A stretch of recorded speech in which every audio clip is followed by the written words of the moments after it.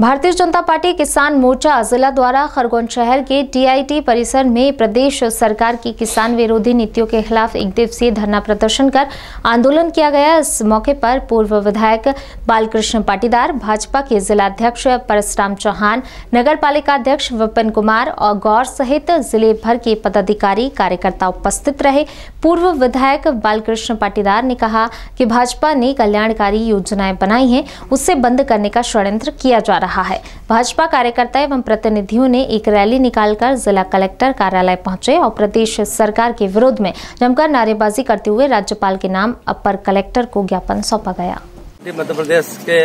हमारे किसान मोर्चा की तरफ़ से पूरे मध्य प्रदेश में जिला मुख्यालय पर यह धरना आंदोलन किया जाकर और ज्ञापन के माध्यम से राज्यपाल महोदय को ज्ञापन दिया, कलेक्टर के माध्यम से देने के लिए आज सब लोग हम यहाँ पर आए हैं। और उस ज्ञापन के माध्यम से हमने मांग की है कि जिस प्रकार से भ्रम और झूठ फैलाकर कांग्रेस ने अपनी सरकार बनाई और 10 दिन में जिस प्रकार से वादा किया था कि हम किसानों का दो लाख का ऋण माफ़ करेंगे, पर आज एक महीने से ऊपर हो गया है, अभी प्रक्रियाओं में उलझा कर और जिस प्रकार से जितना लोन है वो ऋण माफ़ नहीं कर और किसानों को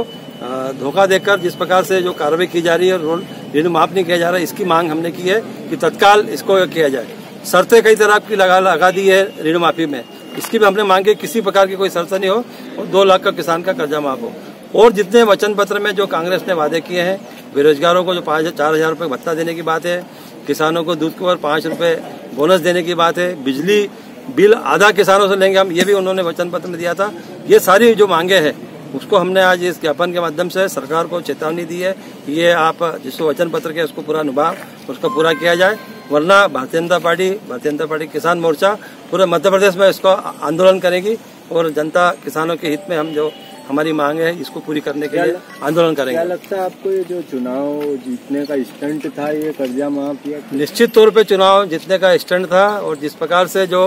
पूरे मध्य प्रदेश में किसानों के ऊपर पचास हज़ार